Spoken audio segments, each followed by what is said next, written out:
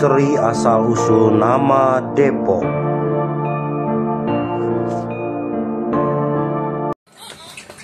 Ya jangan lupa untuk selalu di like, comment, subscribe, and share sama loncengnya dibunyiin ya. Wahid is 9 Science Arba 4, 3, 2, 1 Back on my channel Bang Kiwir. Channelnya orang pinggiran. Assalamualaikum warahmatullahi wabarakatuh Minat motor listrik dan sepeda listrik kunjungi showroom Tangkas Motor Listrik Depok 2 Showroom resmi jaminan servis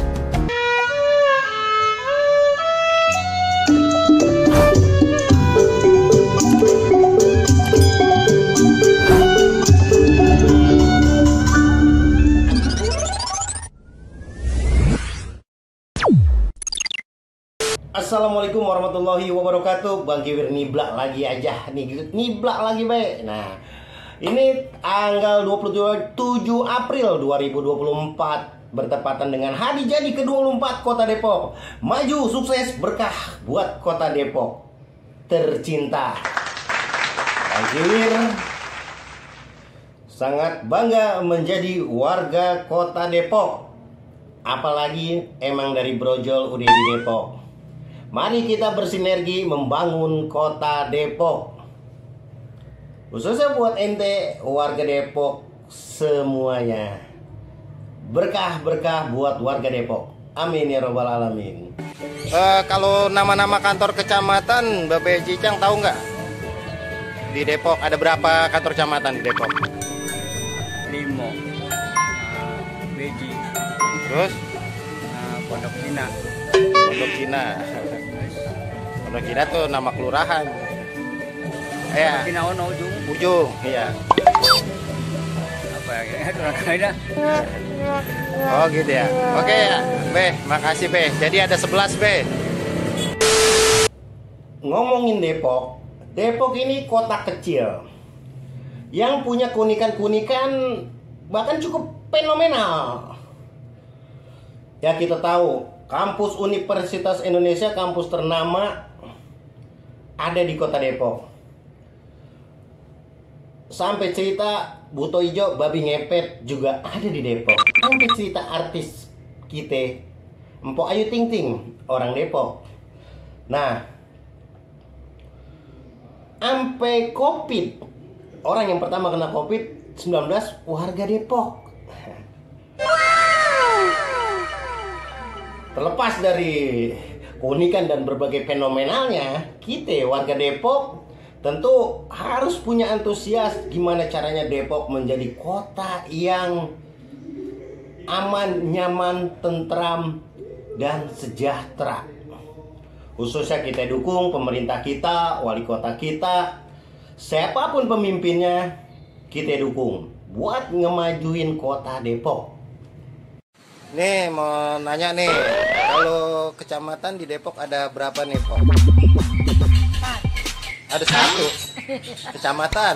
Nah ngomongin hari jadi kota Depok ke-24 ini Depok yang terdiri dari 11 kecamatan 63 kelurahan Itu Asal muasal nama Depok sendiri itu Ada beberapa versi guys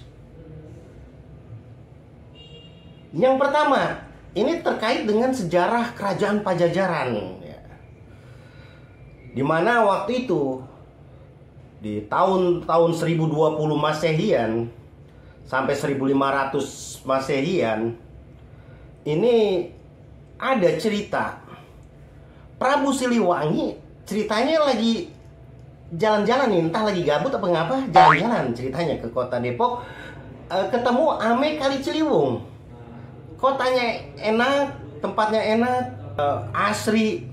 Akhirnya itu Prabu Siliwangi ngedeprok sambil mandangin Sungai Ciliwung. Begono ceritanya. Akhirnya dari kata deprok itu menjadi Depok. Ini versi yang ada kaitannya dari kisah Prabu Siliwangi yang mampir ke Depok yang ada kaitannya pokoknya dengan kerajaan Pajajaran.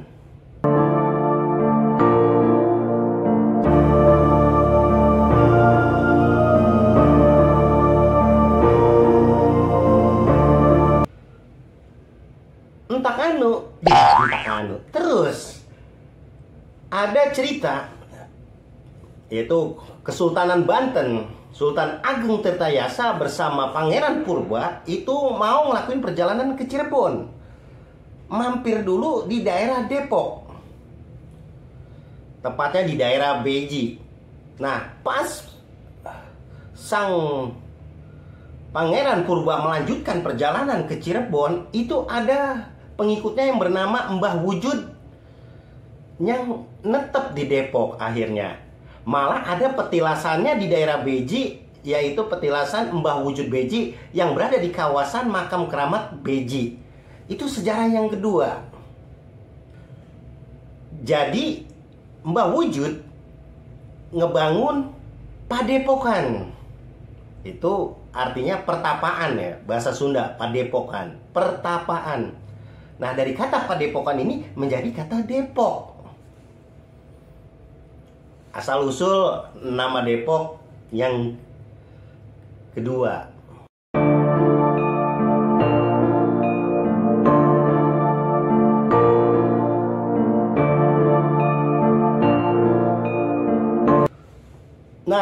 Ada lagi akronim kata Depok itu muncul di tahun 1950-an oleh orang-orang Depok yang ada di Belanda. Ini ada kaitannya dengan Tuan Cornelis Castellane yang emang punya koloni di wilayah selatan Jakarta termasuk Depok.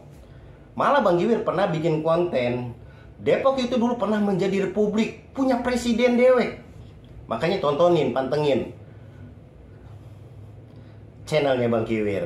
Longokin tuh kontennya yang udah pernah Bang Kiwir tampilin.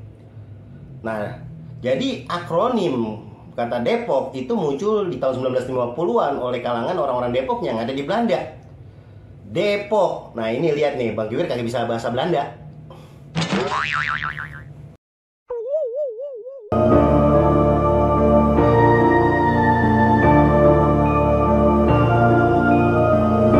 Ya, Oke guys, Bang Kiwir udah datang, udah nebak di salah satu warga Depok.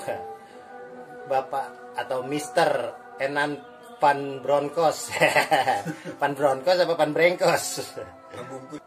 Besek kali ah Brengkos. Nah ini dia Bapak Enan Pan Bronkos. Pan Brengkos. Thank you. So you wonder why I wrote this history of Dutch soldiers.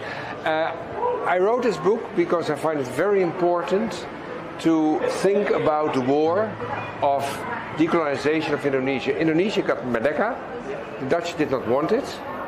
Today, the Dutch people like me who were born after this war cannot understand why other Dutch people at that time terkait Depok pernah jadi negara, negara republik punya presiden dewek sampai empat malah presidennya itu pembusat pemerintahnya ada di, di kawasan Depok Lama. Nah itu rumah sakit. Harapan adalah rumah sakit tua yang dulu jadi pusat pemerintahannya. Kayak begono guys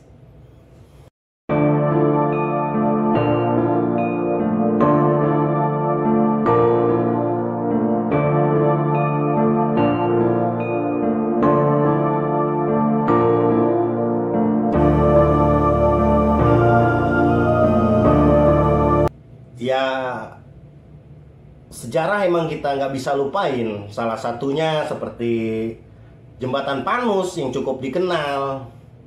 Itu masih ada kaitannya dengan rumah tua pondok Cina yang dibangun oleh Belanda.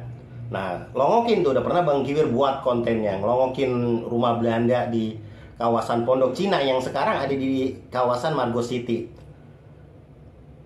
Nah, terus rumah Cimanggis. Pokoknya banyak sejarah-sejarahnya.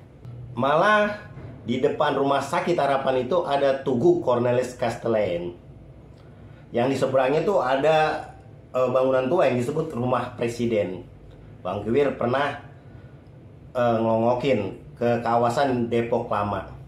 Ya, buat warga terkait asal usul nama Depok yang ada beberapa versi dari mulain kisah Prabu Siliwangi ngedeprok sambil mandangin Siliwangi akhirnya menjadi kata Depok sampai sejarah ke- Kesultanan Banten pada waktu itu Pangeran Purba yang mampir di daerah Depok yang akhirnya pengikutnya Mbah Wujud Beji ngebangun padepokan atau pertapaan yang akhirnya menjadi kata Depok terus dari kisahnya zaman Cornelis Castellan tuan tanah yang membangun koloni di wilayah Depok di mana orang-orang Belanda orang-orang Depok yang ada di Belanda tahun 1950-an muncullah akronim kata Depok terus ada juga singkatan dari Depok, daerah elit pemukiman orang kota. Elit buat yang elit mah, buat yang setengah elit kayak Bang Kiwir. nah, itu gitu guys. Jadi terlepas apa pun asal usul nama Depok, kita semua sama-sama mari membangun kota Depok.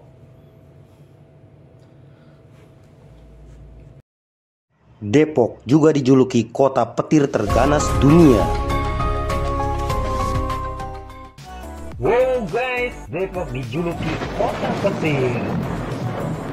Gak tanggung-tanggung guys, petirnya terganas dan berbahaya dibanding wilayah lainnya di dunia. Wow. Hasil penelitian, arus petir negatif mencapai 379,2 kilo ampere dan arus petir positif mencapai 441,1 ampere. Cukup besar guys. Gedung terbuat dari beton pun bisa luluh lantah guys.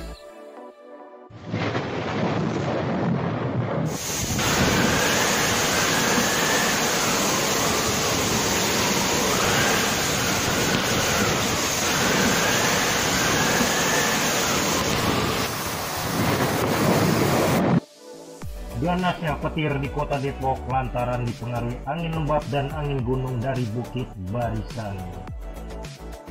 Disebabkan juga adanya angin darat dan laut Kepulauan Riau dan Selat Malaka.